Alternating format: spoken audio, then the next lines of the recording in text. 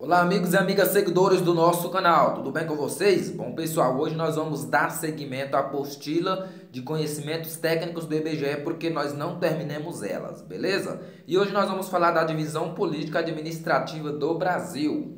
Então vamos lá. Muitos dos conceitos que apresentaremos, como endereço, morador, logrador e domicílio, fazem parte do nosso cotidiano. Contudo, a atuação do recenseador exige o conhecimento específico dos conceitos fundamentais utilizados pelo IBGE para que possa obter resultados adequados. Então, nós vamos ver a divisão política administrativa do Brasil.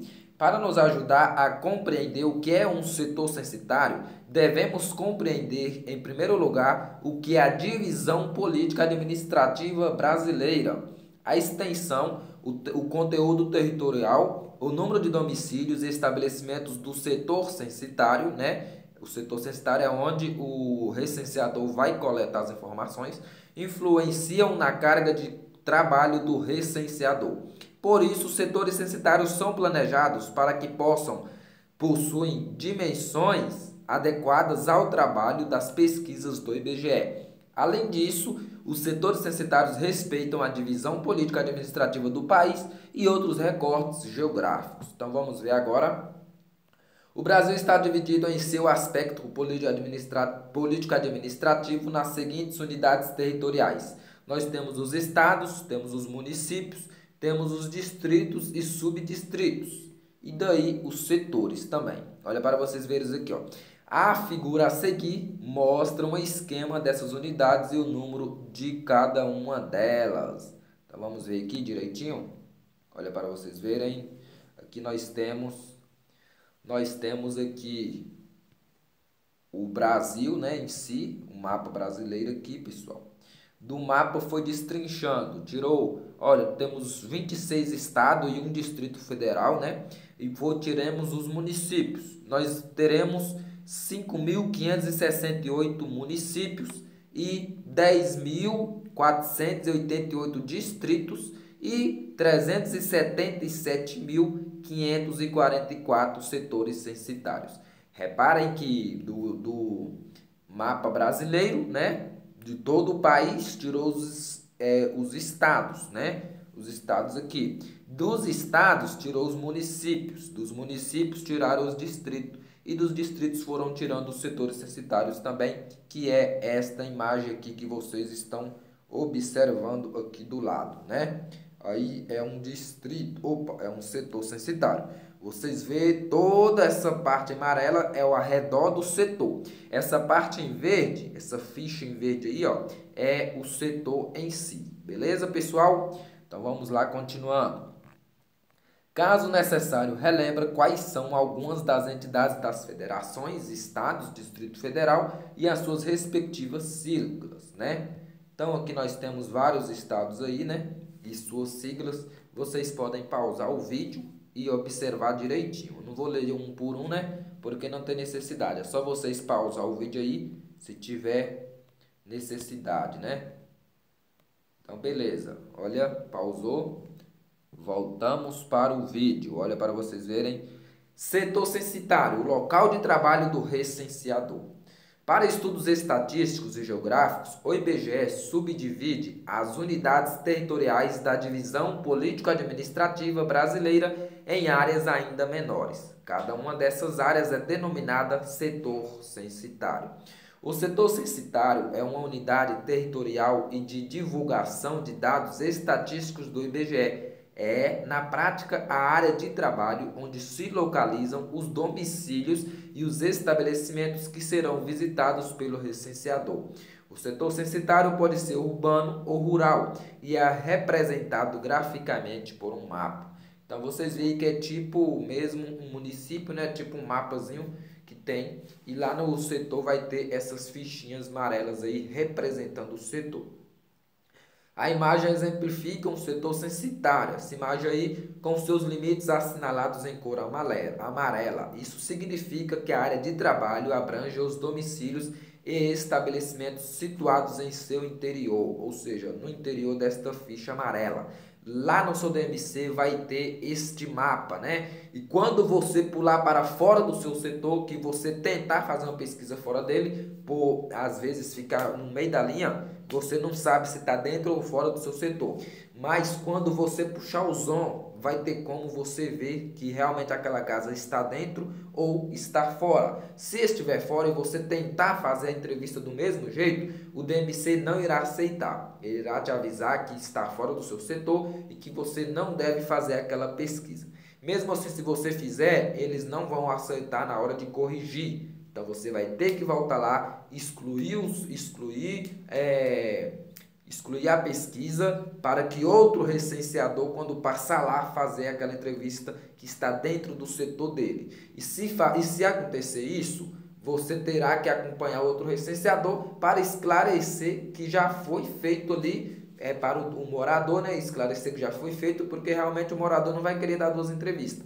Então você tem que tomar cuidado para não fazer nenhuma entrevista fora, porque depois já é, muitas das vezes já é complicado pedir uma entrevista, veja lá, duas no mesmo estabelecimento, né? Então toma muito cuidado aí, não faça entrevista fora do seu setor, pessoal, beleza? Então continuando aqui, vamos ver situações dos setores censitários, áreas urbanas e rurais. Realizar a coleta do censo em áreas urbanas envolve estratégicas distintas das utilizadas em áreas rurais. Olha para vocês verem. Nós vamos ter os setores urbanos, os setores rurais. Por isso, cada setor censitário recebe uma classificação de acordo com suas características geográficas. A tabela a seguir apresenta resumidamente as situações dos setores censitários em áreas urbanas e rurais. Vamos ver? Nós temos as categorias, se vai ser urbano ou rural, temos a situação do setor e nós vamos ter a definição do setor, né? Na hora de você colocar no seu DMC, você vai de, deverá saber de tudo isso. Qual é a categoria do primeiro? Área urbana. E a situação? Área urbana de alta densidade de edificações, muito, muito mesmo edificações, vai ser definido como um setor de área urbana com alta densidade de edificações o nome é o mesmo da situação. É para isso que é, alguns setores não vai ser. Nós temos uma categoria da área urbana e a situação é área urbana de baixa densidade de edificações, tem poucas casas, e vai ser definido como área urbana com baixa densidade de edificações, processos de expansão urbana, áreas verdes desabitadas, entre outros. Essa aqui pode ser um loteamento, né, que ainda está em processo de crescimento, vai entrar nessa situação aqui e nessa definição de área urbana com baixa densidade de edificações. Aí nós temos aqui o núcleo urbano, né, também ainda na área urbana. É definido como aglomerações urbanas separadas das cidades e vilas em menos de um quilômetro ou que, superando essa distância, apresentem características urbanas, como loteamento, conjuntos habitacionais e condomínios.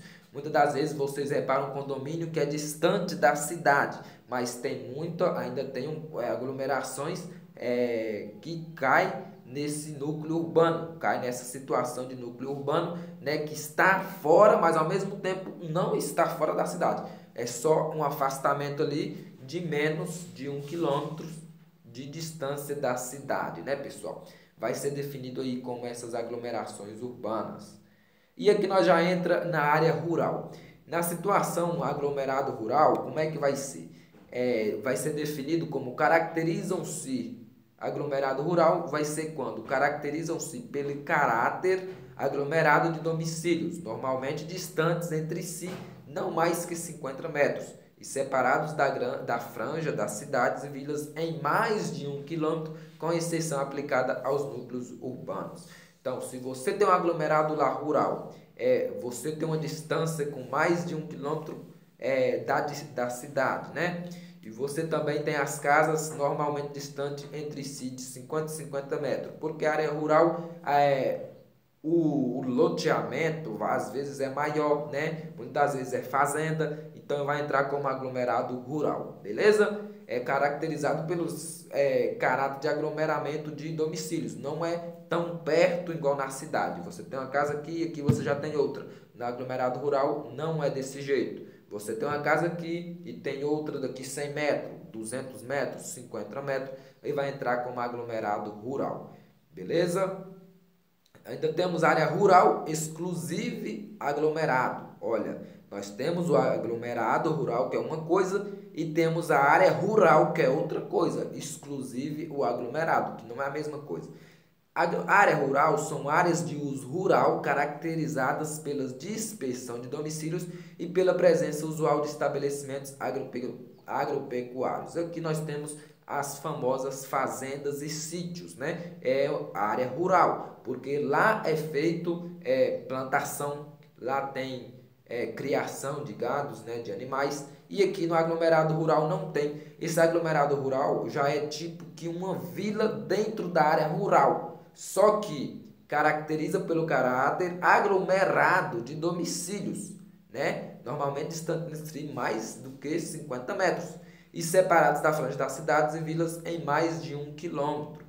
Então toma cuidado, aglomerado rural é uma coisa e a área rural, vamos dizer que são as fazendas e os sítios. Beleza, pessoal?